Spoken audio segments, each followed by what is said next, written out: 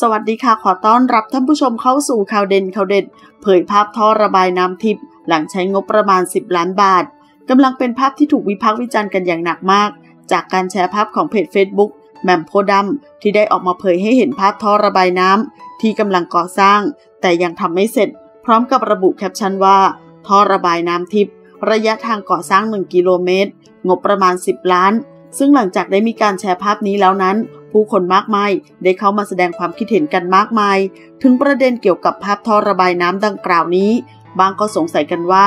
วิศวโยธาของอบตหรือเทศบาล ไม่ได้ตรวจสอบแบบเหรอครับ แล้วผู้รับเหมาไม่ได้ยื่นแบบเหรอครับ ตอนประมูลงาน คอมเมนต์ถัดมาบอกว่า คิดว่าต่อท่อลงรางระบายน้ำแล้วต่อคอกงอ 90 องศาลงไป แล้วมันจะล้างยังไงเวลาท่อตัน คอมเมนต์ถัดมาบอกว่า